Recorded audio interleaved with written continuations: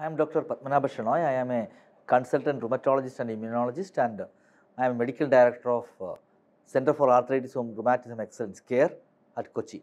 The, almost all the vaccine trials always include healthy people and assess their immune response and assess the all the efficacy studies are done on healthy patients.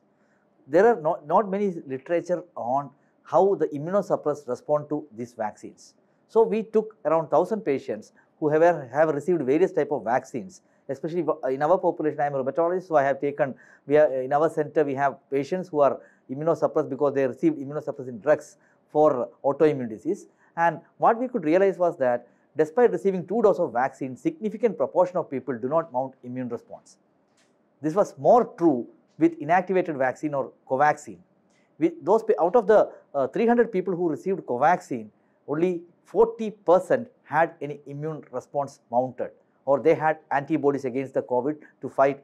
Uh, but in the Covishield group, more than 85 to 90 percent of them had antibodies. This goes on to say that inactivated vaccines are less efficacious or less immunogenic in a immunosuppressed patient. Why this is important is because around in, in, if we take India's population 2 to 3 percent of them will be immunosuppressed and in this population we need test to see whether they have mounted adequate immune response following vaccination. In this group, those who are having immunosuppressed, the after vaccination, it is not guaranteed that they, they develop immunity against COVID. It's extremely important to test whether they have developed adequate immune response. Mm. How do we do that?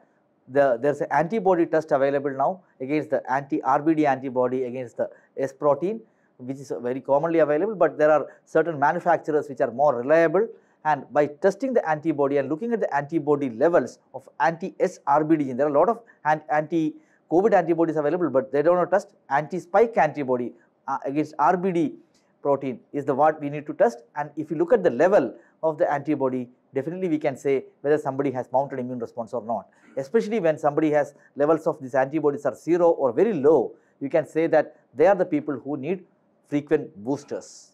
In people who are got a uh, COVID infection initially people thought that they will have lesser immunity than those who have got a vaccine to an extent it is true.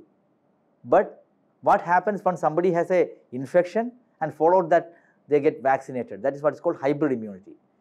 So what people have shown and our group also had shown is that after receiving two doses of vaccine you get a immunity around uh, 400 or 500 levels.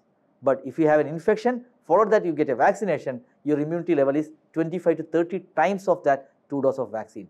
That is what is called hybrid immunity that is best of both world like infection with vaccination, then you get a super immunity and that is what protects them from severe infection in the future.